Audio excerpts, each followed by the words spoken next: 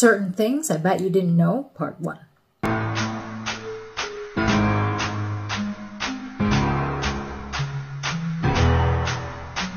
She knows.